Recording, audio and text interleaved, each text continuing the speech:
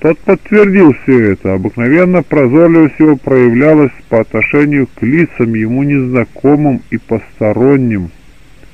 Из этой истории явствует, что чтение мысли, объясняемое иными игрою мускулов, совершается как раз вопреки требованию теории Мори и Либо, чтобы оно имело место не только между знакомыми, но даже родственными душами. Кроме того, постоянным камнем преткновения теории, как в этом, так и в других примерах прозорливости, является то обстоятельство, что угадывается чтецами не только на личное душевное состояние человека, но и прошлое его жизнь, даже с подробностями, может быть, им самим позабытыми. Спрашивается, на основании каких мускулов будет тогда производиться такое чтение – да и возможно ли вообще предполагать какую-нибудь игру мускулов, которые отражались бы ряды сложных состояний настоящего и прошедшего в жизни лица? Есть ли какие-либо мускульные движения, по которым можно было бы узнавать ему подобным, как зовут Н, где он жил, в каких местах был, с какими людьми знался, в каком платке ходил, платье, и тому подобное. Один прозорливец доктор во время визита больному, продолжительно посмотрев на него, сказал, что он два раза покушался на жизнь жены и теперь еще не оставляет своего намерения. Пациент побледнел и во всем сознался. Какие мускульные движения существуют, спрашивается для выражения такого сложного состояния, как намерение убить свою жену? Потребовались бы особые мускульные движения для выражения намерения вообще убивать, а во-вторых, убивать именно жен. Кроме того, надо было бы предполагать существование точных отпечатков или следов прежних двукратных попыток пациента на убийство жены. В действительности, как бы далеко не простиралась игра мускулов, вообще способность мускульного воплощения душевных состояний во всяком случае – она не может отражать все мелкое и случайное. Можно легко узнать преступника или намеревающегося совершить преступление. Может быть, есть, пожалуй, некоторый приблизительный тип убийцы. И только вышеуказанный доктор по условиям научной теории чтения мыслей, самое большее, мог бы только найти своего пациента подозрительным, заподозрить его в намерении совершить что-то дурное, например, убийство.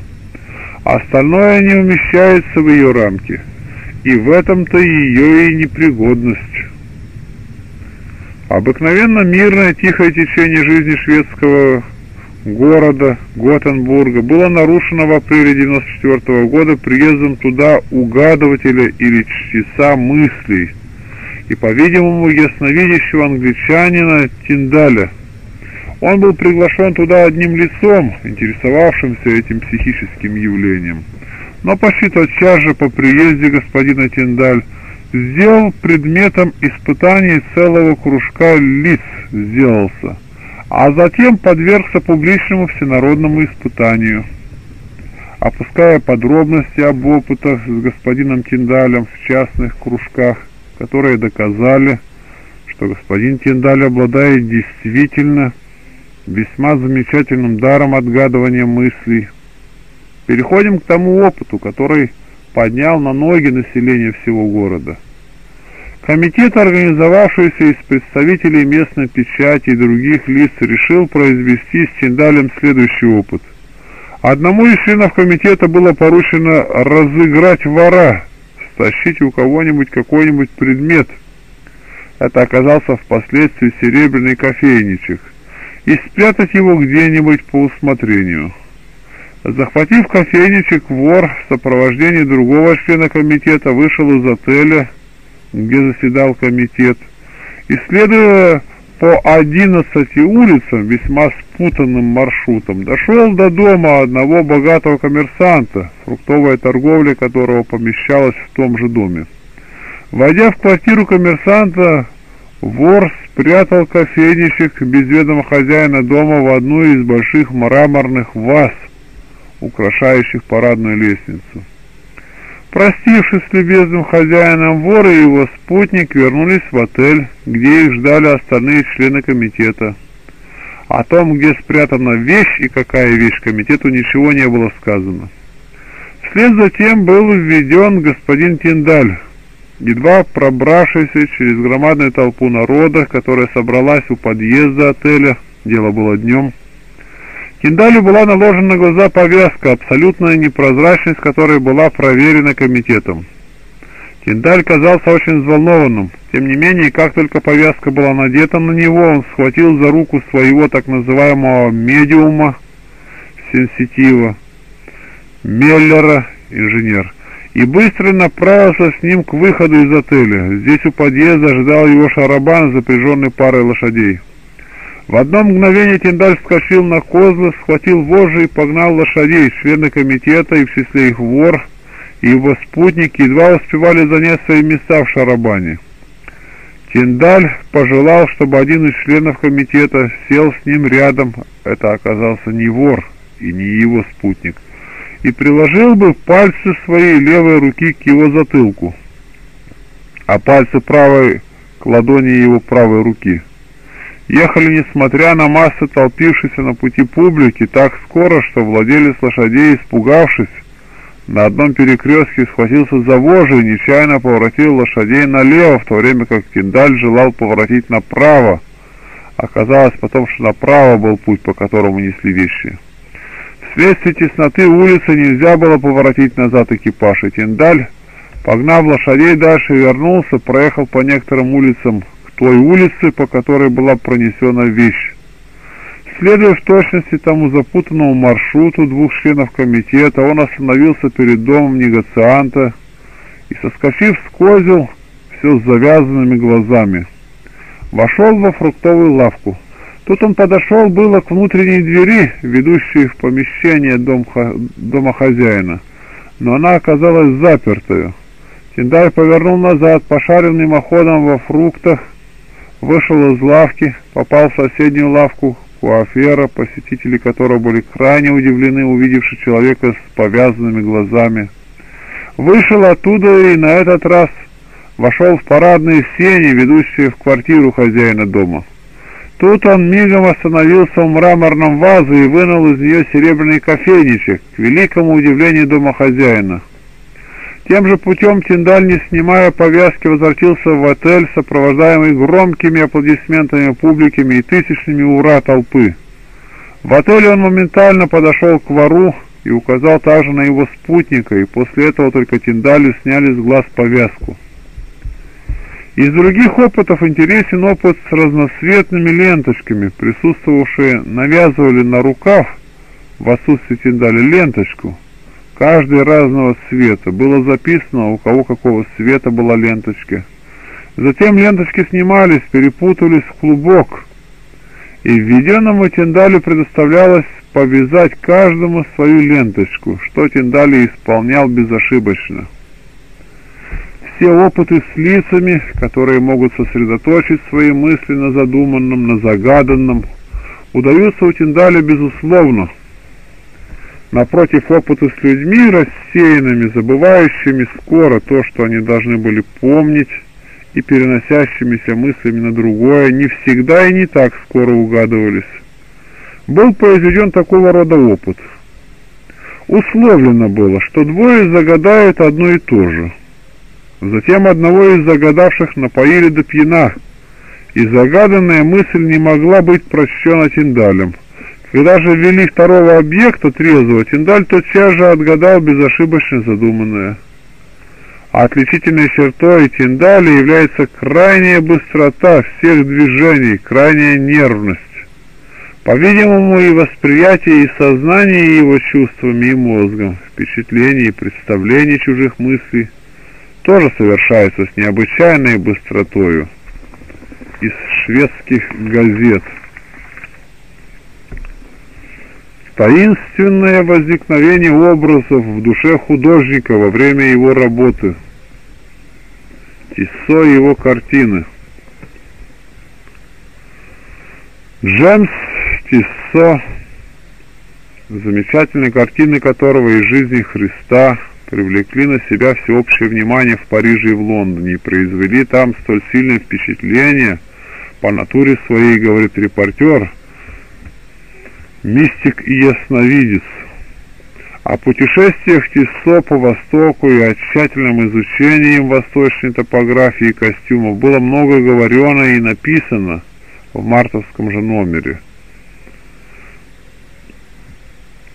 Тиссо имеет обыкновение набрасывать несколькими штрихами карандаша свои впечатления и фантазии в маленький альбом величиной не более почтовой карточки – Выбрав из этих набросков что-либо для картины, он опять делает набросок, так сказать, только скелет картины, но уже в увеличенном по желанию размере.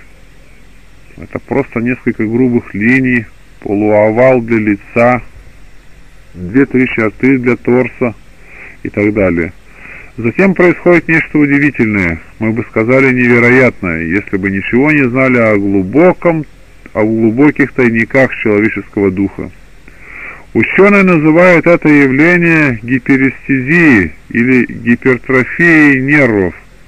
Но как бы оно ни называлось, это явление у Тисо постоянное, неизменно повторяющееся в каждой его картине. Тисо, придя в некое особенное состояние предварительно составив себе идею о том, что именно он будет воспроизводить, наклоняется над листом с едва обозначенными точками и пристально смотрит на него. Его целая картина постепенно вырастает в его воображении. Он видит лица, одежды, цвета, малейшие подробности. Он закрывает глаза в восхищении и бормочет. Превосходно, поразительно, о, только бы не забыть, только бы удержать в памяти. Напрягая всю силу воли, чтобы запечатлеть видение в своем воображении, он берет кисть и воспроизводит виденное на память. Большинство картин Тиссо написано таким образом, но многие и лучшие не могли быть написаны. Ослепительное видение проносилось как чудный сон и не возвращалось, несмотря ни на какие усилия. Да, вздыхает он, это было слишком хорошо, чтобы запомнить. Однако я должен оговориться, что это явление видений не представляет собой ненормальности. Тесо просто обладает в высокой степени сенситивностью образов и красок, сенситивностью, которую одарены очень многие художники. Все дело сводится к причинам и следствиям, как и сновидения нередко называются известными причинами. Причина видения у Тисо – сосредоточенность, молитва и артистический темперамент. Его видения не всегда вызываются пристальным созерцанием листа бумаги. Они случаются с ним на улице.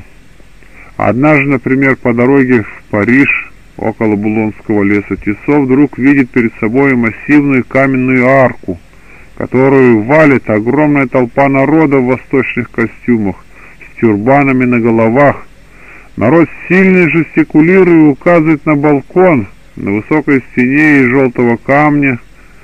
На балкон римские солдаты тащат пленников в красном позорном одеянии. С балкона спускается ярко расшитый ковер. К этому ковру грубые руки солдат наклоняют лицо пленника, показывая его народу. Лицо это Иисуса Христа. Это видение Тиссо точно передал на полотне с надписью «Все человек». Непременное условие такой работы Тиссо – уединение. Он говорит, чтобы хорошо писать, я должен думать и чувствовать себя в полном одиночестве. Инстинктивное решение трудных математических задач – это явление психической жизни человека мы также относим к психометрии. Один инженер решал трудные алгебраические задачи, например, мог прямо написать, чему равняется корень какой угодно степени из числа написанного во всю школьную доску. Но как он делал то, чего другие лучшие ученики достигали долгим решением трудной задачи посредством логарифмов, он сам объяснить не мог. Он говорил, что это для него так же ясно, как дважды два четыре.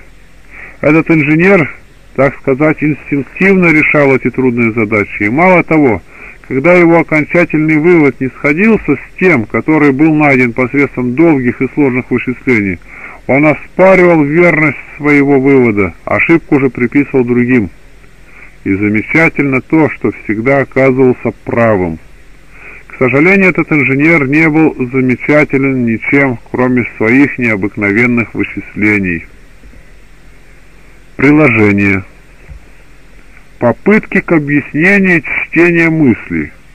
Профессор Вагнер от чтения мыслей.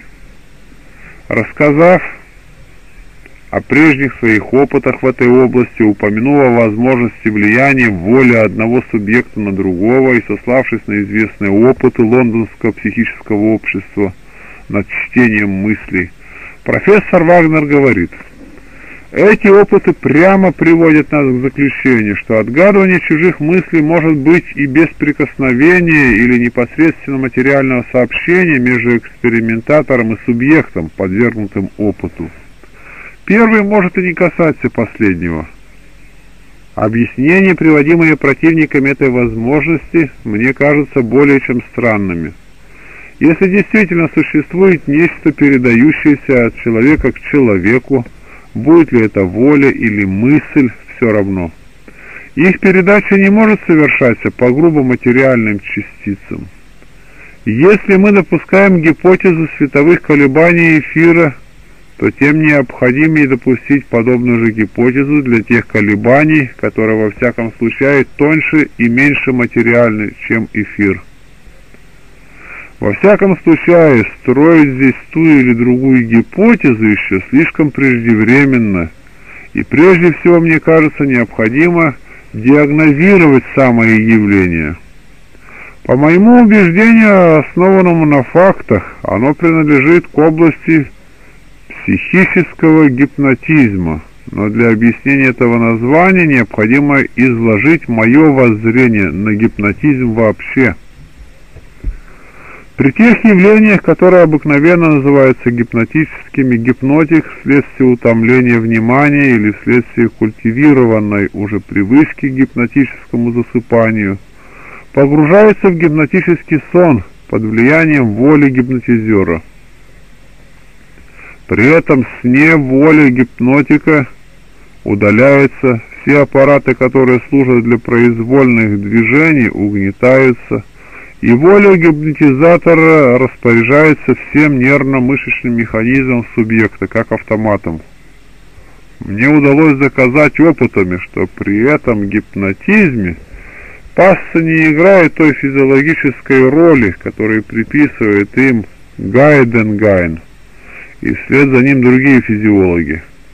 Явление сокращения мышц каталептического состояния вызывается у гипнотика осмысленной волей гипнотизатора. Такова сущность явления при обыкновенном гипнотизме, который можно назвать животным или физиологическим.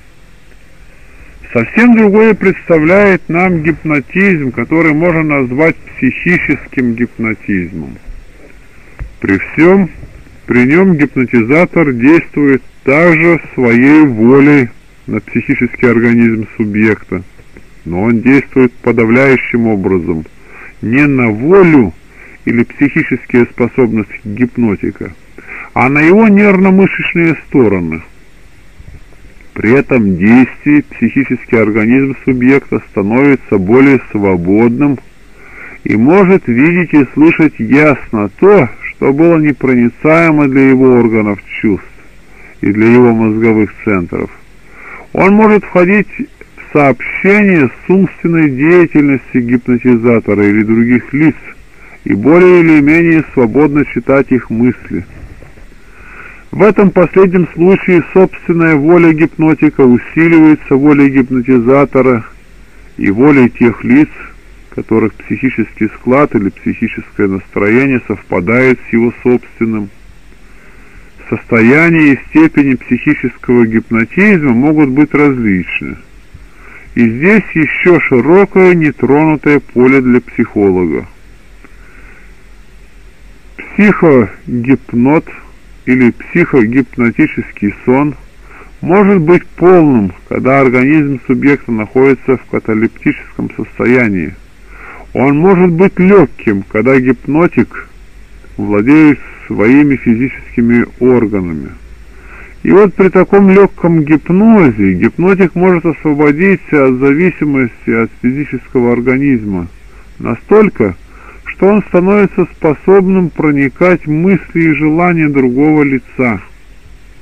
Мне кажется несомненным, что чтение чужих мыслей совершается именно при таком легком гипнотическом состоянии.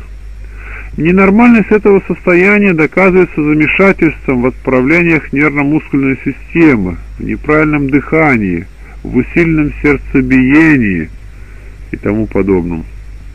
Отгадывание чужих мыслей, желаний, задуманных мелодий есть первая легкая степень того гипноза, которая обыкновенно называется ясновидением, и которая до сих пор игнорируется или не признается научной физиологией и психологией. Для меня существование этого состояния лежит вне всякого сомнения. На одной из моих публичных лекций о гипнотизме я представил факт ясновидения, который случился при моих опытах с Ганзеном. Он совершился на глазах 30 свидетелей. Он был ясен, несомненен, и к нему не может быть приложен ни одно из тех толкований, к которым обыкновенно прибегают лица, не верящие подобным фактам. В течение весны и лета 1883 года я сделал ряд опытов с психическим гипнозом. На одном из них гипнотизируемый субъект дама во время сна на мой вопрос, завязать ли ей глаза, ответила «нет» и потом продолжала. Но есть такой человек в Англии, которому завязывают глаза, и он, взявший вас за руку, говорит вам ваши мысли. Затем, спустя несколько времени, она спросила меня, «Вы знаете, как этот человек читает в мыслях?» «Знаете?» И когда я, обращаясь к ее матери, сидевшей возле, тихо сказал, «Это у нее теперь, вероятно, идея фикс, она поглощена ею», то загипнотизированная быстро возразила, «Это не идея, а факт». «Не можете ли вы, — спросил я, — сказать нам имя этого человека?» «Нет». Это случилось гораздо ранее, чем иностранные газеты заговорили о Кумберленде. Было ли это очень странное совпадение или было действительно указание на то лицо, вовсе неизвестное спящей, и которое находилось в Англии? Этого вопроса я не берусь решить. Я рассказываю об этом факте, который случился у меня на глазах при моих психогипнотических опытах, с целью показать желающим заняться опытами чтением чужих мыслей, один из тех концов, которому могут привести такие опыты. Может быть, мне возразят, что э, господа, читающие чужие мысли или отгадывающие задуманные мелодии, желания и цифры, не находятся в состоянии ясновидения, что это не есть ясновидение. Действительно, здесь есть одна разница, по-видимому, весьма существенная – Субъекты, отгадывающие мысли или желания другого лица, пользуются тем материалом, который находится в мозгу этой, этого лица. Тогда как ясновидящий узнает и рассказывает вещи, о которых никто не знает, кроме его. Но эта разница едва ли существует в действительности. По крайней мере, я уверен, что опыты, сделанные в этом направлении с Кумберлендом, Бишопом и другими подобными субъектами – вполне показались бы, воз... показали возможность ясновидения и при том легком гипнозе, при котором совершаются такие опыты. Замечу, кстати, что при опытах с отгадыванием чужих мыслей повязка на глазах также необходима, как и при опытах ясновидения. То есть необходимо, чтобы функции физического органа зрения были, была удалена и не мешала бы субъекту видеть. Но чем? Во всяком случае, там и здесь, так же, как и при всяких психических или психофизиологических явлениях, огромную роль играет упражнение или культивировка явления. Субъект, часто гипнотизируемый, доходит наконец до возможности самоусыпления без участия гипнотизатора. Субъект, культивирующий свою способность отгадывать чужие мысли и желания, может развить ее до замечательных результатов, если при этом он будет стараться сдерживать те болезненные явления, как, например, дрожание, конвульсивные движения и тому подобное, то и здесь он может дойти до полного самообладания. Ребус, 84 год, номер 49. Объяснение профессора Агилерова. Под чтением мысли подразумевается способность узнавать содержание мысли присутствующего лица, не выраженных ни словом, ни сознательным жестом. Эта способность сводится к двум элементарным фактам – психофизиологическому закону, по которому всякое духовное состояние, каково бы оно ни было, идея, волнение, желание и прочее, всегда сопровождается соответствующим телесным обнаружением и к чрезвычайной изощренности чувств, дозволяющей различать эти необыкновенно уловимые изменения. Подобно тому, как при помощи букв и образованных из них слов приобретается благодаря этим знакам способность понимать содержание письма, точно так же по некоторым невольным сокращениям и растяжениям мускулов, по некоторым мимолетным выражениям лица, по некоторым звукам, незаметным никому другому, сомнамбулу доходит до истолкования в другом идей, обозначаемых этими знаками. Лучшим образцом чтения мысли может служить следующий приведенный у Банжана. В сентябре 88 года весь Вервье был сильно занят одной сомнамбулой, который показывал в балагане на ярмарке гипнотизер. Последний усыплял сомнамбулу, затем обращался к присутствующим, предлагая написать что-нибудь на бумаге и показать ему – Написавший клал свою руку на руку или плечо сомнамбулы, а гипнотизер громко у нее спрашивал, повторяя вопрос несколько раз, что написал этот господин. Сомнамбула угадывала тотчас же, без ошибки и запинки, сколь бы не трудна была записанная фраза.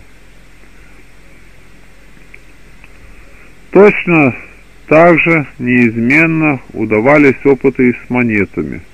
Стоило гипнотизеру взглянуть на ту или другую монету, показанную ему зрителю, и сам нам было без промедления говорила, какая монета, когда и где отчеканена. Не менее удивляло толпу и безошибочное угадывание имени. «Не может ли мадемуазель, — обращался гипнотизер к одной из присутствующих, — сказать потихоньку, как только возможно тише, свое имя или имя другого лица?» У которой спрашивали, говорила на углу эстрады гипнотизеру на ухо так тихо, что ее не могли слышать самые близкие соседи. Но сам нам было, как скоро до нее дотрагивались рукой, тотчас же начинала. Вы спрашиваете имя, имя, которое вы сказали Генриетта. Все эти опыты поражали тем более, что казались совершенно непостижимыми. Никакого обмана предположить было нельзя, все происходило при ярком дневном свете на глазах у тысячи зрителей в непосредственном присутствии того, кто предлагал вопрос. Путь к решению загадки был указан доктором Баланом, долго изучавшим способ обучения глухонемых. Руководясь его указаниями, Бонжан пришел к заключению, что Самнамбула на своей эстраде просто-напросто читала на губах своего гипнотизера фразы, Годы монет, имена, сказанные шепотом ему на ухо на углу эстрады. Когда ее усыпляли, у нее появлялась гиперстесия зрения. Хотя глаза у нее были закрыты, герметически закрытыми они только казались на первый взгляд. Она видела все, что происходило на эстраде, и видела лучше, много лучше, чем громадное большинство окружавших ее лиц правильности этого объяснения Банжан убедился при помощи следующего опыта. Когда он перед началом опыта попросил гипнотизера отвернуться к стене, тот смутился и отказался.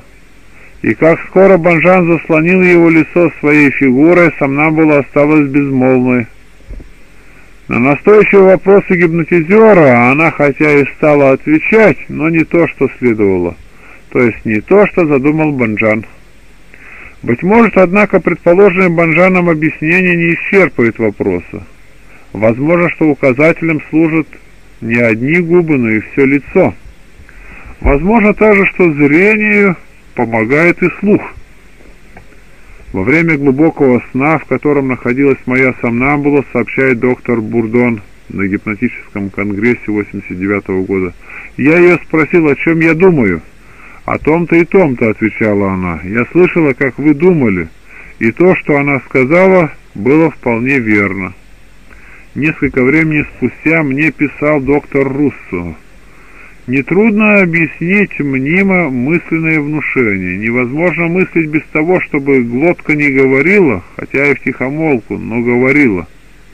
Таким образом, все эти необыкновенные явления мысленного или лжемысленного внушения на деле не что иное, как явление чрезвычайной изощренности слуха.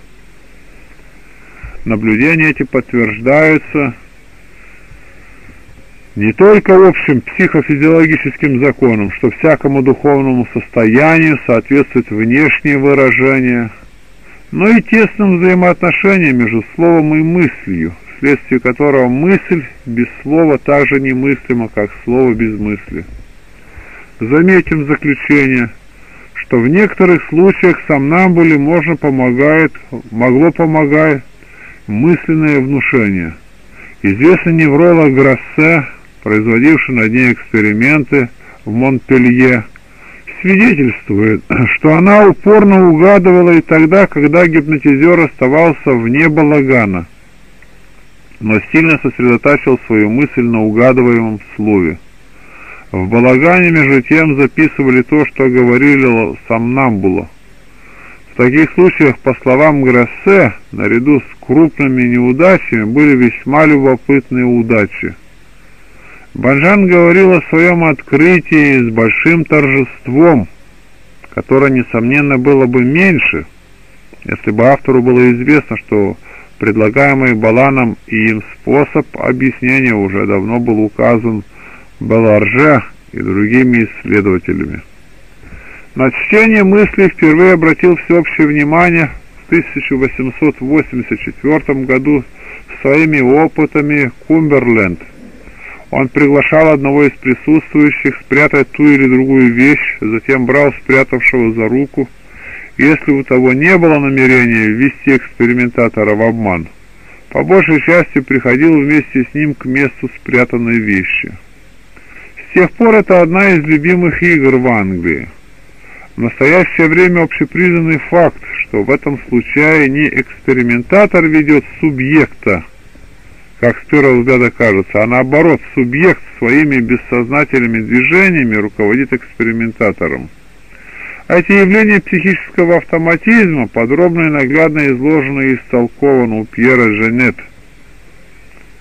Наше личное мнение, как составителя этой книги, то, что душа здесь непосредственно, без всяких физиологических усилий, о которых говорит профессор Гелеров, а одной своей духовной силой, в силу прирожденного ей богоподобия, читает сокровенные мысли людей – что обыкновенных мирских людей считается необыкновенным, то у святых, достигших высшего духовно-нравственного совершенства и приближения к Богу, составляет обычные явления. Вот почему в житиях святых так часто случаи духовной прозорливости, предузнания будущего, чтения мыслей, ясновидения и тому подобное таинственные явления – при этом мы должны оговориться, что не отрицаем, что в некоторых случаях нужно допускать, допустить внушение мыслей как средство для прочтения их. Но это, очевидно, не может относиться ко всем случаям.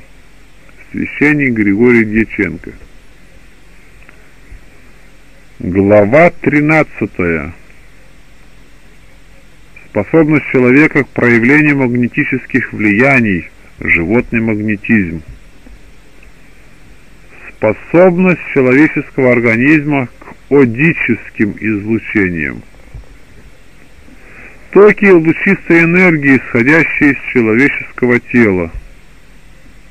Магнетизеры давно уже утверждали, что из человеческого тела беспрерывно вытекают токи лучистой энергии, которые они называли магнетической жидкостью, нервной силой, токами ода и тому подобное. Уверяет, будто загипнотизированные явственно различают токи этой энергии, вытекающей из пальцев и рассыпающейся во все стороны, словно струйки воды из садовой лейки. Цвет этих лучистых токов различен для правой и левой руки стороны тела. Он оказывается красному правой и синему левой руки. Подобные же лучистые токи усматриваются и на полюсах магнита, а также над жидкостью, где происходит какое-нибудь химическое действие и тому подобное. Вообще людьми, находящимися в состоянии гипноза, замечается, будто бы у всех организованных существ Выделение лучистых токов. Упомянем при этом, кстати, что на древних индийских монументах встречается изображение Вишну с огоньками, выходящими из оконечностей пальцев.